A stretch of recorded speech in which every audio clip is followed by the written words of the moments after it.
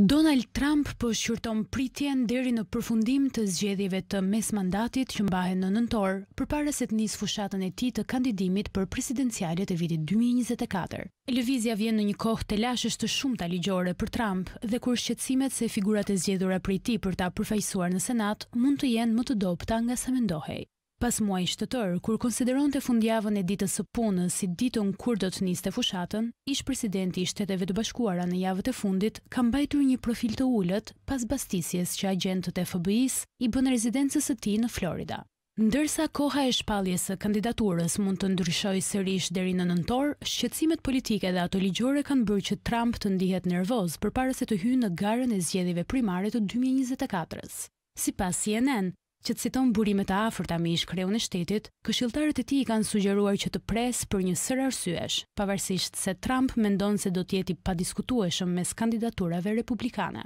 Disa prej anëtarëve të stafit të Trump insistojnë se nëse ai e nis fushatën për Shtëpinë e Bardhë shumë herët, mund të mbetet pa të ardhura në kohën kur republikanët do të mbajnë konventën e nominimeve Dhe rrjedhimisht do ta bëjnë atë më të cënueshëm gjatë zgjedhjeve të përgjithshme. Është më mirë që më parë të zgjidhet çështja ligjore me FBI-në dhe të mbahen zgjedhjet, mësohet t'i kenë thënë këshilltarët ish-presidentit amerikan.